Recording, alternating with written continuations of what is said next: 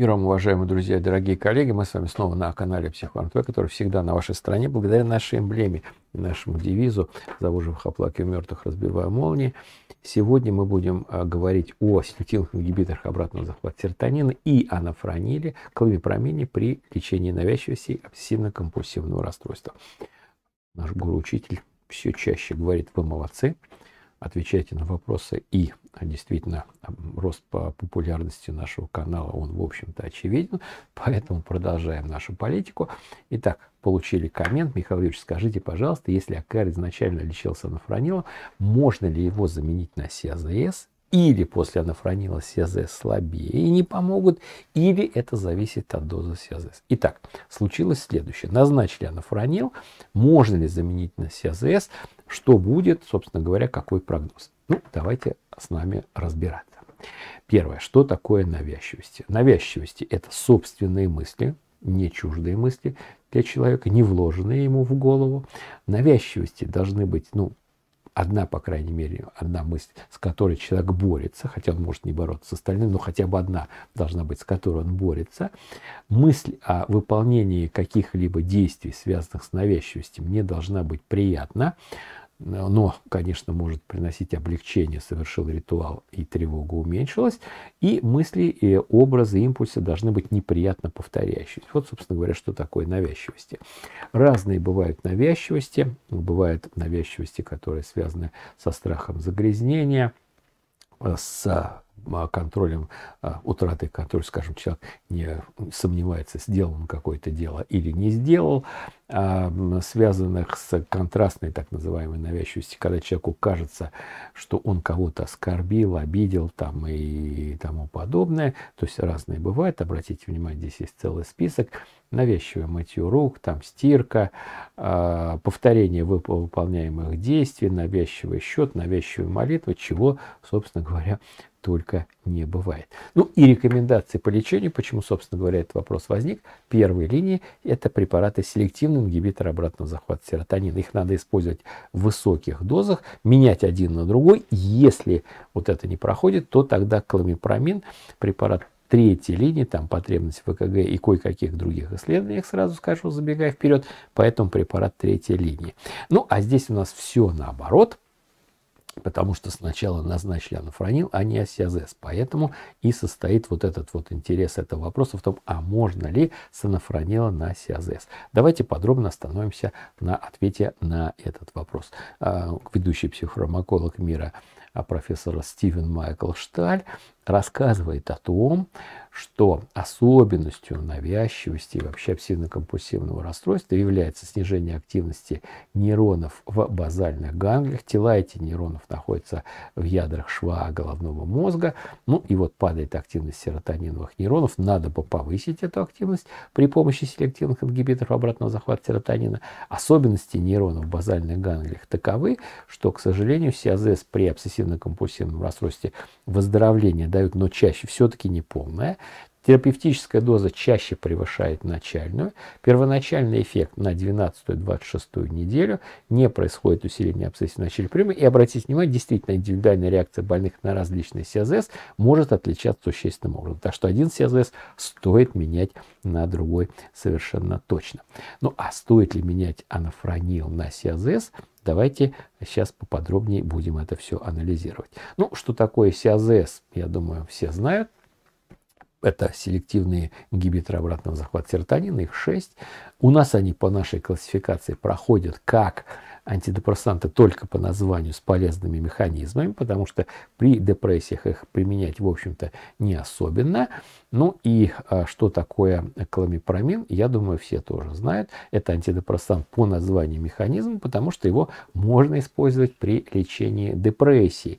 Обратите внимание, кламипромин по нашей классификации СНД антидепрессант, буква С достаточно большая, ну и, соответственно, кламипромин может использоваться, ну, например, при лечении вот таких депрессий. Ну, не совсем, конечно, с успехом. Есть препараты более активные, ну, например, винлофоксин в высоких дозах. А как бы то ни было, значит, давайте мы будем разбираться, что, собственно говоря, в этой ситуации может возникнуть. Итак, при селективных, э, при э, обсессивно-компульсивном расстройстве назначили анафронил. Конечно же, для больного селективным, э, конечно же, для больного с обсессивно-компульсивным расстройством это не очень хорошо. Почему не очень хорошо? Может быть, это, ну, как бы сказать, не очень хорошо а, в принципе, а, и в плане эффективности, но самое главное в плане переносимости. Почему переносимость хуже? Ну, потому что есть дополнительные Трициклический антидепрессант. Есть дополнительные побочные эффекты. Сейчас я это все попытаюсь вам проиллюстрировать. Вот это наша классификация по переносимости антидепрессантов. Вы видите, кламипровин входит в худшую шестую категорию переносимости, потому что там есть поражение других органов, за которыми надо следить. Надо постоянно делать анализы. Кстати, нужно делать анализ крови, не только ЭКГ, а, скажем, у пожилых пациентов. Надо следить за артериальным давлением. В то же время селективный ингибитор обратного захвата серотонина – это препараты э, второй категории переносимости. Их побочные действия связаны в основном, в основном с повышением активности серотониновых нейронов. Давайте мы сейчас вот это все просто сопоставим, ну как это все выглядит. Я люблю такой тест, тест побочных эффектов. Берем, ну, например, на каком-то сайте, ну, например, Media.ru побочные эффекты, не нужно их читать, просто я их переношу тупо на слайд в одном и том же а, в одном и том же текстовом формате, один и тот же размер шрифта. Вот это кламипромин, это раз побочные эффекты, это два, обратите внимание, антихолинергические побочные эффекты, это три, это все побочные эффекты. Теперь давайте посмотрим в качестве примера, не случайно, видите, здесь задесался флуоксамин, уже наши там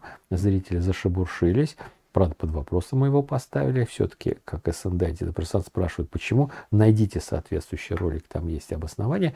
Давайте будем сравнивать тоже вроде с СНД антидепрессантом флуоксамином. А, ну, вы знаете, что мы предпочитаем говорить о раконе как о бренде.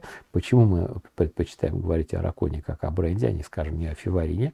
Ну, потому что у ракона наиболее доступная цена. Посмотрите, у нас есть соответствующие ролики за 100 миллиграммов. И э, сравнение по качеству субстанции тоже дает положительный эффект в плане ракона. То есть ракона действительно лучше по качеству фармацевтической субстанции. Ну и давайте посмотрим побочные эффекты в том же самом формате у Ракона. Вот один слайд и вот два. То есть на треть меньше. Почему это все происходит? Казалось бы, да, повышение активности э, и дофаминовых нейронов дополнительных, но на самом деле э, трициклический антидепрессант кламипромин действует не только на норадреналиновые нейроны, он действует на огромное количество а, э, нейронов также других. Обратите внимание, это мы берем драгбанк, заходим туда и просто переводим на что он действует. Альфа, бета, адренорецепторы, э, рецептор НМДА рецептор, это значит глутаматная система. То есть на самом натриевые каналы на самом деле много чего. Теперь переходим к флуоксамину.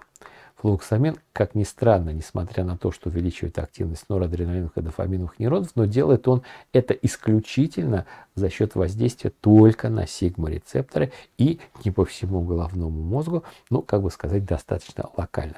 Соответственно, флуоксамин остается селективным препаратом, который не действует на альфа-адренорецепторы, бета-адренорецепторы, мускариновые рецепторы, дофаминовые рецепторы, гистаминовые рецепторы, ну и так далее и тому подобное. Значит, понятно, что что даже препараты в одной группе могут существенно отличаться. Зачем я вам это рассказываю? Возвращаемся к этому вопросу. Итак, переход с анафронила на селективный ингибитор обратного захвата серотонина. Может он осуществляться?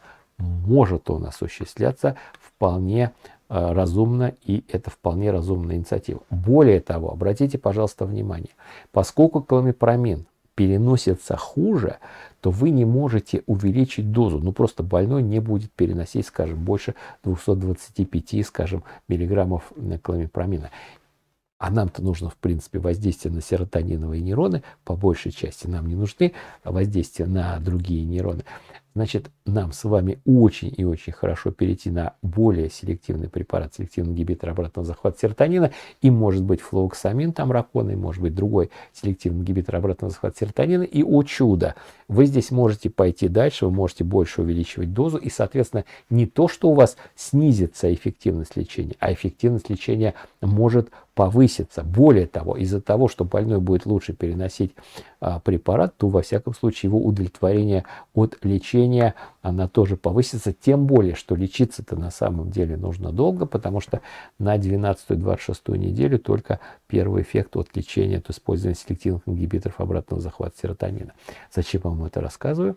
Пока я жив, ничего не бойся, обращайтесь к нам с вопросами. Мы всегда найдем вам возможность рассказать о том, как лучше принимать препарат, как один препарат менять на другой. Это, кстати, была наша рубрика «Замена одного препарата на другой». Будем продолжать эту рубрику и дальше. Как всегда, комменты, лайки, подписка. Становитесь спонсором нашего канала. Хотите отблагодарить за этот ролик, в описании вы найдете реквизиты счета. До новых встреч.